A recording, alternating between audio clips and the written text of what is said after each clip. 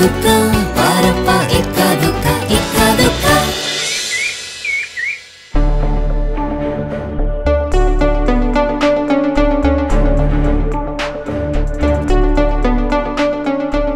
তো সকলে এখানে আছো। আমার কিছু কথা বলার আছে। ছোট মা তুমিও এসো। হ্যাঁ কি ব্যাপার বলো? আমরা অনুমান করতে পারছি।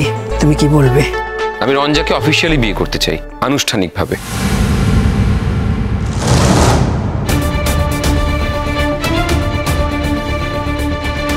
এবং আমি আশা করব তোমরা সেই অনুষ্ঠানটা অ্যাটেন্ড করবে।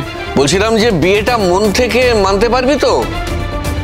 দেখ শুধু কর্তব্যর খাতিরে বিয়ের মতো একটা জটিল ব্যাপারের মধ্যে নিজেকে জড়িয়ে ফেলিস না পরে কিন্তু অশান্তিতে পড়বি। দেখ রাধিকা মা যাই বলে থাকুক। তুই নিজে থেকে বল যে তুই নিজে থাকতে পারবি তো? দেখ বিয়ের পরে একটা মেয়েকে এই বাড়িতে এনে থেকে কষ্ট দিবি এটা আমাদের কারোরই দেখতে ভালো লাগবে না। যেমন তোর মাকে আমি জীবনে সুখী করতে পারিনি। তোমার সাথে আমার পার্থক্য আছে বাবা। রঞ্জাকে বিয়ে করার কথা কিন্তু আমি নিজে থেকে বলেছি। রঞ্জার সাথে আমার সেই সম্পর্ক আছে বলেই বলেছি। রঞ্জা কি আমাদের বাড়ির উপযুক্ত? সে তো মা আমিও এই বাড়ির উপযুক্ত নই। কিন্তু রয়ে তো গেলাম এতদিন। সেটাই তো আমাদের আক্ষেপ। এসে পড়েছিলে? আমরা ভদ্রলোক? তোকে তাড়িয়ে দিইনি। এটা আমাদের ভালো মানুষের প্রমাণ ছিল। একদমই উপযুক্ত নও তুমি আমাদের বাড়ির। অনেকের চোখেই তুমি অযোগ্য ছিলে বৌমা। অনেকের চোখে হতে পারে অযোগ্য। আমার চোখে কিন্তু তুমি কোনোদিনই অযোগ্য ছিলে না। তার কারণটা কি জানো? এই জন্যই তোমাকে অযোগ্য মনে করিনি, কারণ সংসারটা একদিন তুমি ধরে রেখেছিলে। আমি কিন্তু কোনোদিন তোমার কোনো নিন্দমন্দ করিনি। ওসব কথা কোনোদিন ভাবিও নি।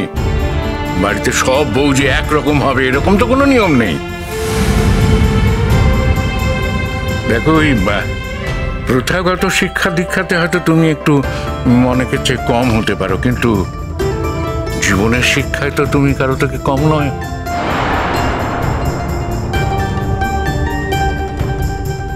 আমার কপালে এটাই ছিল, জানেন তো, আমি জানি। আমি জানি আমার ছেলে আমাকে এই এই এই সুখটাই দেবে। আমাকে শান্তি দিলি না রে পোখরাজার। মা, আমি কথা দিচ্ছি। দেখো, রঞ্জা একদিন ঠিক এই বাড়ির যোগ্য হয়ে উঠবে। না মা, তুমি তো সারা জীবন একটা একটা ভুল বিয়ের মধ্যে ছিলে। অন্তত তুমি তাই মনে করো, কষ্ট পেয়েছ। তুমি কি চাও? রঞ্জা একই কষ্ট পাক? না ও কি নিয়ে বাঁচবে তুমি বলো। রঞ্জা তো মনে করে এই বিয়েটা ওর কাছে আসল বিয়ে। অবশ্য এই মুহূর্তে দাঁড়িয়ে আমিও তাই মনে করি এই বিয়েটা আমার কাছে আসল বিয়ে। পোখরাজ তুই এত তাড়াতাড়ি ভুলে গেলি রাধিকাকে? এত তাড়াতাড়ি? ভুলে যাওয়ার কথাটা উঠছে কেন মা? রাধিকা আমার বন্ধু ছিল তাই রাধিকার সাথে বন্ধুত্বের সম্পর্কটা হয়তো থাকবে। কিন্তু স্বামী স্ত্রী হিসেবে কোনো সম্পর্ক আমাদের থাকবে না।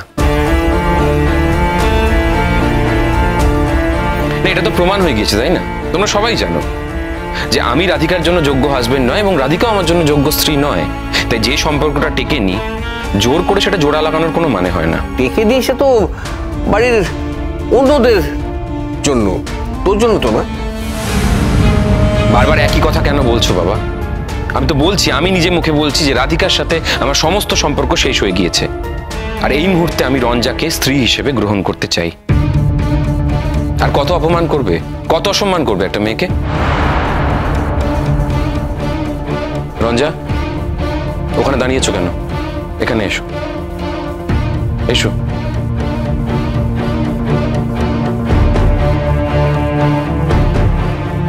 আমারও কিছু বলার আছে। না। আজ তুমি কিছু বলো না রঞ্জা। আজকে আমি বলব। আজ তোমায় শুনতে হবে। হ্যাঁ তো যেটা বলছিলাম আমরা ঠিক করেছি আমরা একটা অনুষ্ঠান করব। তোমরা যদি রাজি না থাকো তাহলে বন্ধু বান্ধব নিয়ে বাইরে করব অনুষ্ঠানটা। আর যদি বলো যে রঞ্জাকে আমার স্ত্রী হিসেবে মেনে নিতে পারবে না তাহলে হয়তো আমাদেরকে বাড়িটা ছাড়তে হবে। বিশ্বাস করো আমি এই বিয়েটা চাই না। ওসব নাটক টাটক ছাড়ো তো। যত সব নাটকে মেয়ে বাড়িতে এসে ঢুকেছে। দাদান দয়া করে নাটককে অপমান করো না। এটা একটা শিল্প মাধ্যম। অনেক মানুষ কিন্তু এই শিল্প মাধ্যমের সাথে জড়িত। অনেক বড় বড় মানুষ। এই নাটকের শব্দটা ব্যবহার করে দয়া করে এই শিল্প মাধ্যমটাকে অপমান করো না। সে অধিকার তোমার নেই। এই সেটা যা ভালো বোঝো করো। আমি জানতাম আমি জানতাম তুমি এই সর্বনাশটা করবে। আমরা তো রাধিকাকে মেনে নিতে তৈরি আছি পোখরাজ। শোন শোন শোন। দেখ, রাধিকাকে মেনে নিচ্ছি বলে রঞ্জাকে ত্যাগ করছি, সেটা কিন্তু আমি বলতে চাইছি না। আমার বক্তব্য হচ্ছে, এই বিয়েটা তুই মন থেকে মানছিস তো? মানে পরে বলবি না তো যে বিয়েটা করে আমি ভুল করে ফেলেছি, আমার আমার যুক্তি, আমার আমার সমস্ত কিছুর সঙ্গে এটা মিলছে না? এরকম কথা বলবি না, এটা ভেবে দেখেছিস তো? আমি যখন নিজে থেকেই বলছি আমি বিয়েতে রাজি নই, তখন কেন বারবার আপনারা একই কথা বলছেন? আমিও তো একটা মানুষ। আমারও তো মান অপমান বোধ আছে। প্লিজ প্লিজ আমাকে একটু স্বস্তি দাও। আমি আর বেশি দিন তোমাদেরকে বিরক্ত করব না। এই প্রশ্নটা উঠছে কেন? বিরক্ত করার কথাটা? আমি তোমার হাজবেন্ড আমি বলছি আমি তোমাকে অফিসিয়ালি বিয়ে করতে চাই ব্যাস। আর সত্যি তো অনেকেই জানে না যে আমাদের বিয়েটা এক্স্যাক্টলি কীভাবে হয়েছে। তাই অনেক প্রশ্ন উঠছে। সেই সব প্রশ্নের উত্তর আমি দিতে চাই। শোন পোখরাজ তোমাকে একটা কথা বলে দিচ্ছি। তুমি তো এর আগেও একটা বিয়ে করেছিলে। নিজের ইচ্ছেতেই বিয়েটা করেছিলে। আমাদের বিরুদ্ধে গিয়ে বিয়েটা করেছিলে। সেই বিয়েটা কিন্তু তোমার সুখের হয়নি, পোখরাজ। আজ আবার তুমি আরেকটা বিয়ে করতে চলেছ যেটা আমাদের বিরুদ্ধে। তোমার পছন্দ মতো। আমি তোমাকে বলে দিচ্ছি, পোখরাজ, এই বিয়েও কিন্তু তোমার সুখের হবে না। ঠিক আছে, তুমি বিয়ে করতে চাইছো, নিজে করো। নিজের জীবন নিজে দেখে নেবে। এরপর থেকে কিন্তু তোমার জীবনের সঙ্গে আমি আর জড়িয়ে থাকব না বলে দিলাম। মা হিসেবে তুমি যদি তোমার সন্তানের জীবনের সাথে জড়াতে না চাও তাহলে আমার কিছু বলার নেই মা। আমি কি বলব বলো? তবে আমি খুশি যে বাবার সাথে সম্পর্কটা তোমার আগের তুলনায় অনেক বেটার হয়েছে। তিক্ততা অনেকটা ঘুচেছে। আমি চাইব ভবিষ্যতে আরও বেটার হবে তোমাদের সম্পর্কটা। পোখরাজ তুমি যেমন চাও যে আমাদের সম্পর্কটা ভালো হোক আমরা সকলে কিন্তু তোমার ক্ষেত্রে একই জিনিস চাই। তুমি যাতে সুখে থাকো, ভালো থাকো, আমরা কিন্তু সবাই এটাই চাই। বর্দি, একটা কম লেখাপড়া জানা মেয়ের সাথে বিয়ে হলেই যে সব সময় বিয়েটা সুখের হয় না, তেমনটা কিন্তু নয়। এই তো পোখরাজ, একটা লেখাপড়া জানা শিক্ষিত মেয়েকে বিয়ে করেছিল। কই, ওর জীবনটা তো সুখের হতে পারল না বর্দি? হলো না তো? এই কথাটা কিন্তু তোমার আমি মানতে পারলাম না বৌমা। যে কোনো একটা মেয়ে বাড়িতে ঢুকে পড়বে আর তাকে বাড়ির বউ হিসেবে মেনে নিতে হবে এই মানসিকতা আমার নয়। তার ফ্যামিলি স্ট্যান্ডার্ড যা শুনেছি তা তো পরিচয় দেওয়ার মতনও কিছু নয়। পরিচয় দেওয়ার দরকারটা কি আছে? আমি তো আপনাদের পরিচয়ে পরিচিত হতে চাই না সেটাই তো সব থেকে বড় কথা। বাহ বাহ বাহ বাবা তুমি ভেতরে ভেতরে ছেলেটাকে খুব উস্কেছ। এখন বাইরে এসে এই সমস্ত কথা বলছো কেন? ভালো সাজবে বলে? আপনি আমাকে চেনেন না বলে এই কথাগুলো বলছেন। চিনলে এই কথাগুলো বলতেন না। আমি ওই ধরনের মেয়ে নই। তোমাকে যে চিনতে চাই আমরা সে কথা তোমাকে কে বলেছে রঞ্জা? তোমাকে তো চেনার কোনো প্রয়োজন বলে মনে করছি না আমরা। আহ শর্মিষ্ঠা এভাবে কথা বলছো কেন? দেখো রঞ্জা, তুমি যদি বিয়ে করতে না চাও পোখরাজ তোমার তো জোর করে বিয়ে করতে পারবে না। হ্যাঁ দরকার হলে জোর করব বাবা। আর জোর করার প্রশ্নটা উঠছে কেন? বলছি না? আমাদের অলরেডি বিয়ে হয়ে গিয়েছে। আমি আনুষ্ঠানিকভাবে আরেকবার বিয়ে করার কথা বলছিলাম। তোমরা যদি অ্যাটেন্ড নাও করো অনুষ্ঠানটা, বিয়ে কিন্তু আমাদের স্টিল হবে। মা, তুমি নিজে একটা মেয়ে হয়ে আরেকটি মেয়ে, যাকে আমি সিঁথিতে সিঁদুর পরিয়ে বিয়ে করেছি, তারপরেও বলছো যাতে আমি অফিসিয়ালি বিয়েটা না করি। না আমি তো প্রথম দিনই এসে বলেছিলাম। আমি প্রথম দিন এসেই বাড়িতে বলেছিলাম সবার সামনে বলেছিলাম যে রঞ্জা আমার স্ত্রী। আমি কিন্তু ওকে নিজের স্ত্রী হিসেবে পরিচয় দিতে কোনো কার্পণ্য কোনোদিনও করিনি। সেটা তো আমরা ভেবেছিলাম রাধিকাকে দেখানোর জন্য তুই এসব কথা বলছিস।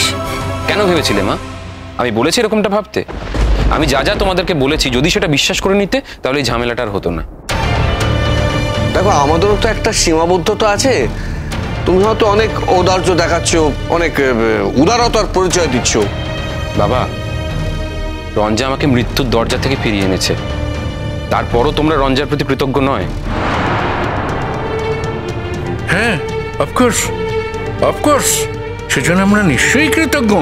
সেজন্য তাকে নানাভাবে সাহায্য করা যায় টাকা পয়সা দেওয়া যায় কিন্তু তোমার বউ হিসাবে মেনে নেওয়া যায় না।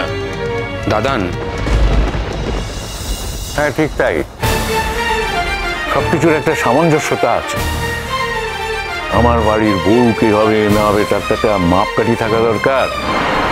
তোমার মা কাকিমারা তো এইভাবেই বাড়িতে এসেছেন। বাবা আপনি তো কখনো আমাকে অসমর্থন করেননি। তাহলে এই মেয়েটার প্রতি আপনার কৃপা দৃষ্টি কেন পড়ছে না বাবা? তোমাকে অসমর্থন করিনি কারণ তুমি একটা ভদ্র বাড়ির মেয়ে। এই মেয়েটার বাপের বাড়ির পরিচয় কি আছে? কেউ পাপি হয়ে জন্মায় না। আমি আপনাদের একটা কথাই বলতে চাই, হয়তো এটা ছোট মুখে বড় কথা হয়ে যাবে, কিন্তু এটাই সত্যি। আমার বাবা জন্ম থেকে পাপি ছিলেন না। আমাদের ভাগ্য আমাদেরকে এই পথে নিয়ে এসেছে। আর তার জন্য আমি কোনো কনসেশন চাইছি না। আমি তো নিজে থেকেই বলছি, আমি এই বিয়েটা চাই না। কেন আপনারা বারবার আমাকে অপমানে অপমানে পুড়িয়ে ঝালাপালা করে দিচ্ছেন সেটাই আমি বুঝতে পারছি না। పారప్ప ఎక్క దుక్క. పారప్ప ఎక్క దుక్క. ఇచ్చాలో చలో చలో చలో చలో పాల్టా.